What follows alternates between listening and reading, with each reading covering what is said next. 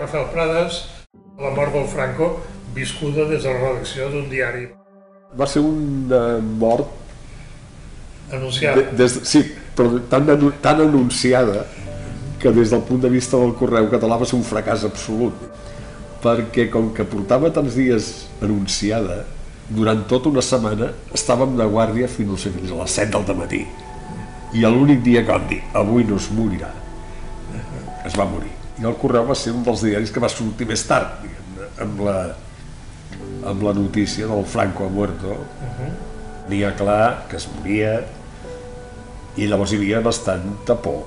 Por, por en general no se sabia què podia passar. Sabien, la, la gent deia que tenia l'ampolla del cava o del xampany a la nevera però no sabia si la podia obrir o no la podia obrir. Es tenia les biografies preparades o sigui, tots els panegírics les editorials fetes el dolor les fotos buscades, tot això estava preparat és que el diari de la mort del Franco estava fet Sí, sí. era dir l'hora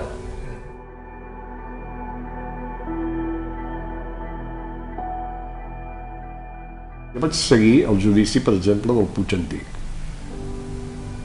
I va ser una de les coses més bèsties que, que m'han tocat mai. Que ja veies que no, que no anaven bé. No, estaves convençut de, de com acabaria.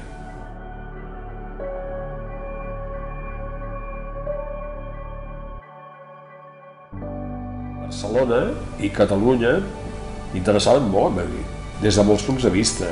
O sigui, per ser avançat en temes culturals, en l'exemple respecte a la llibertat d'expressió.